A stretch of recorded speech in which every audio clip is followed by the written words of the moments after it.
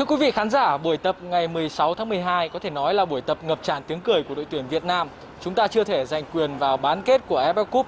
Tuy nhiên đây có lẽ chỉ là vấn đề thời gian mà thôi và các thành viên vẫn đang duy trì được sự thoải mái. Huấn luyện viên Park Hang-seo cũng đã có những nhắc nhở với đội hình đá chính trong trận đấu gặp đội tuyển Malaysia và tiền đạo Tiến Linh. Cầu thủ lúc này vẫn chưa hồi phục hoàn toàn chấn thương và cần thêm thời gian để hồi phục.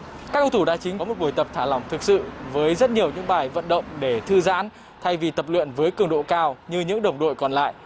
Đây cũng là buổi tập mà huấn luyện viên Park Hang-seo cho những cầu thủ thi đấu dự bị hay không được đăng ký thi đấu ở trận gặp đội tuyển Malaysia chia đội hình và thi đấu đối kháng nhằm tìm ra những cầu thủ phù hợp và có phong độ tốt vào lúc này để thi đấu ở trận đấu gặp đội tuyển Campuchia.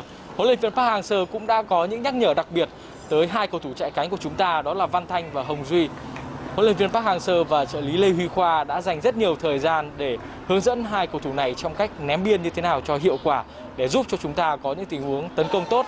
Có thể nói lúc này đội tuyển Việt Nam đang có sự chuẩn bị rất tốt cho trận đấu gặp đội tuyển Campuchia.